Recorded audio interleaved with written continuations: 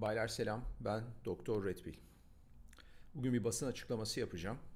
Onun için kendi ismimi de söylüyorum. Doçent Doktor Tahsin Oğuz Acartürk. Ama sizin bildiğiniz şekliyle Doktor Redbil. Bu bir basın açıklamasıdır. Ardından da e, kısa bir konuşma olacak. Avukatımın söylediğini de yazacağım. Tabii iyi dinleyin. Bilindiği üzere yaklaşık 50 bin takipçiye sahip Doktor Redpill isimli YouTube kanalım üzerinden kadın erkek ilişkileri, maskülenite ve feminenite, 21. yüzyılda kadın erkek ilişkilerinde değişen roller nedeniyle toplumun uğradığı, uğradığı deformasyon, kadın ve erkeğin cinsel stratejileri, hipergami yani kadının cinsel tercihleri diyebiliriz aslında buna.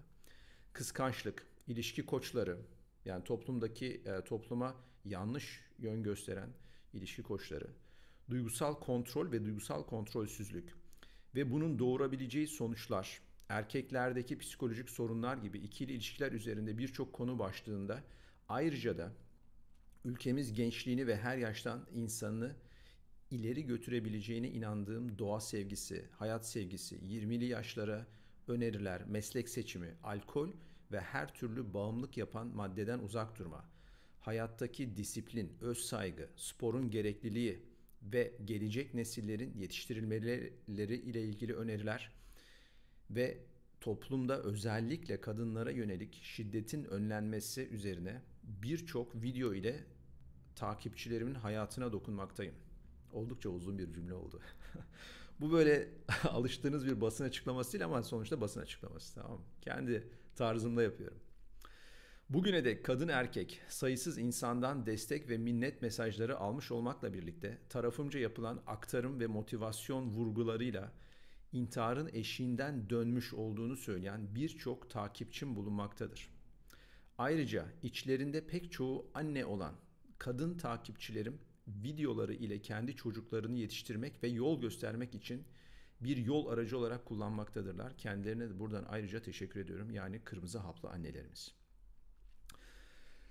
Fakat bildiğiniz üzere bundan yaklaşık 3 ay önce aynen meyve veren ağacın taşlanacağı yönündeki talihsiz bir rutin ki pek çok kişinin başına da gelmiştir bu. Şahsım açısından da gerçekleşmişti. Ve bir seneyi aşkın süredir verdiğim emek hiçe sayılarak ki bir şey de beklemiyorum için açıkçası kötü niyetli bir linç kampanyasının hedefine konulmuştum. Yani sonuçta bir linç kampanyasına uyguladık. Sistematik sosyal medya üzerinden yapılmış bir linç kampanyası. Biliyorsunuz, hepiniz biliyorsunuz. Yani bizi izleyenler, izlemeyenler, beğenenler, beğenmeyenler bir linç kampanyası oldu. Bu tamamen reklam ve prim kaygısıyla başlatılan bu linç girişiminin fitilini ateşleyen kişilerden bir tanesi olan bir kadın avukatın internet ortamına düşmüş talihsiz bir konuşmasının içeriğini tesadüfen öğrendim. Yani kısaca internete iki kişi arasında geçen bir diyalog düştü. Şu anda kaldırıldı herhalde veya kaldırılmadı bilmiyorum. İnternette bunu bulabilirsiniz. Bu kişi bize linç kampanyasını başlatanlardan bir tanesiydi. Bahse konu olan kaydın yani internetteki oradaki kaydın girin bakın mutlaka vardır. İsim vermiyorum bulun. Bu kaydın içeriğinde 1 milyonluk sosyal medya hesabından hedefine aldığı kişiler hakkında asılsız isnatlar yayarak, iftiralarla ve hedef göstermeler yaparak nasıl linçleteceğini soğukkanlılıkla anlatan bu şahsın ve şu an lanetlenen bu yöntemsellik yani insanları linç ettirme yöntemselliği 3 ay önce şahsıma karşı yürüttüğü de aşikardır. Yani bu kişi bu diyalogta diyor ki ben 1 milyon kişilik sosyal medya hesabıma istediğim insanı koyarım ve takipçilerime bu insanı linçletirim diyor. Ve aynısını 3 ay önce bana ve kanalıma yaptı. Şu an en çok kendi kitlesi tarafından sorgulanan o şahsa yönelik sadece şunu belirtmek istiyorum. Gerçeklerin bir gün ortaya çıkmak gibi kötü bir huyu vardır. Evet. Ve kendi ağzından haksız bir şekilde bir insanı linçletti. Bu açıklamam bu. Şimdi avukatım da tabii bununla ilgili bir şey bir basın açıklaması olduğu için onun da sözlerini okuyacağım kendisi avukat Saruhan Gencebaşar'a. Müvekkilim Oğuz Acartürk'ün kanalındaki üyelere özel içeriklerden tamamen kesinti yapılmak suretiyle yayılan içeriklerin farklı yansıtılması yöntemiyle kişilik haklarına yoğun bir şekilde saldırılmış, haftalarca kendisine, aile fertlerine ve değerlerine yönelik yoğun hakaretler edilmiş, müvekkilimin can ve mal güvenliğinin hilafına bir atmosfer yaratılmış, mesleğine dahi sirayet edecek şekilde bir linç kampanyası başlatılmıştır.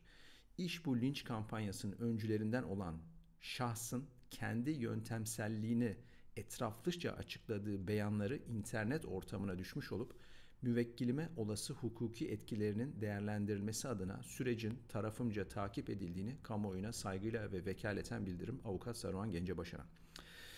Şimdi bu bir basın açıklaması yaptık. Biliyorsunuz 3 ay önce de bir basın açıklaması yapmıştık. Kanalımız genişliyor. Takipçilerimiz artıyor. Burada e, yapılan bu internet ortamındaki şeyler, e, yayınlar, şunlar, bunlar pek çok insan dedi ki ta, işte takipçi kasmak adına ne demekse bu da yeni bir kelime öğrendim. Takipçi kastı filan. Bunun adına yapılmıştır. Emin olun şu kadar takipçi olsun, bu kadar takipçi olsun. Hakikaten umurumda bile değil. Amacım farklı. Amacım gerçekten toplumun iyi olması. İyi mesajlar vermek. Oturun videoları izleyin. İyi şeyler söylüyoruz. İnsanlar evet rahatsız oldular. Kötü niyetli insanlar rahatsız olur ancak bundan. Meyve veren ağaç taşlanır. Ve linç kampanyası başlatıldı. Ve daha da ilginci bu linç kampanyası başlatan insanların en merkezinde olan kişi bu internete düşen başka bir insanla arasındaki diyalogda ben 1 milyon kişilik sosyal medya hesabıma istediğim insanın videosunu koyarım ve herkese de linçletirim tarzında bir söylemle girdi. Bu ne kadar haktır ya? Nasıl bir şeydir? Ben mağdur olun falan demiyorum. Erkek mağdur olmaz. Ama bir haksızlık mutlaka olur. O, da, o bile umurumda değil. Çünkü gerçekler bir gün ortaya mutlaka çıkar. Ve gerçekler ortaya çıktı. Ben o insanın izleyicilerine de sesleniyorum. Bakın objektif bir şekilde siz de insansınız. Sizin de kendi görüşünüz var. Bu insanlardan etkilenerek saldırmayın sağa sola. Kendi görüşünüzü her tarafı inceleyin. Ondan sonra kendi görüşünüz ancak öyle oluşsun. Bak şu anda o kişinin hesaplarından yorumları siliyorlar. Niye? Çünkü gerçek ortaya çıktı. Kendi izleyenleri bile isyan içinde. Ama bundan 3 ay önce o insanları bizim üzerimize sürmüştü. Benim şahsıma, mesleğime hakaret ettiler. Şahsıma hakaret ettiler. Aileme hakaret ettiler. Ne kadar trajik. Ya sosyal medyanın böyle bir şeyi var. Ha gerçek, gerçek mutlaka çıkar ve gerçek çıktı. İzliyoruz. Bu arada ben e, yine bu basın açıklamasında bu kadın avukata da sesleniyorum kendisine. Bakın. Sonuçta ben eğitimli bir insanım. Siz de eğitimli bir insansınız. Bir gün sizinle sizin seçtiğiniz bir televizyon kanalında istiyorsanız canlı yayın yapalım. Karşılıklı. Siz bana soru sorarsınız. Ben size soru sorarım. Medeni bir şekilde konuşalım. Ama bel altına vurarak değil. Linçleterek, hedef göstererek değil. Gerçekten yüreğiniz varsa yapalım. Basın açıklaması bu kadar. Baylar, bayanlar. Yarın size güzel bir canlı yayın hazırlayacağım. Pardon yarın bugün cumartesi sanırım. Cuma. Bugün çalışmadım da onun için. Pazar günü bir canlı yayınımız gelecek ve e, yeni yılda gerçi yarın da bir canlı yayın yaparım ama onu biraz sürpriz olacaktı size. E, ama normal yayın akışına 1 e, 1 Ocak itibariyle devam edeceğiz canlı yayında. E, izlemeye devam edin. Baylar gerçekler, gerçekleri öğrenin. Doğruyu öğrenin. Kendinizi geliştirin. Yani hep iyi toplumsal mesajlar veriyorum. Ben yanlışa yanlış derim. Kadın yanlış yaptıysa yanlış derim. Erkek yanlış yaptıysa ona da yanlış derim. Hayatın gerçeklerini anlatıyorum. Bilimin, biyolojinin, psikolojinin gerçeklerini anlatıyorum burada. Başka bir şey değil. Kırmızı hap budur işte. Türkiye'deki insanlara, kadına ve erkeğe doğru yolu göstermeye çalışıyorum. Gençlere hangi yaştan olursa olsun. Başka bir şey değil.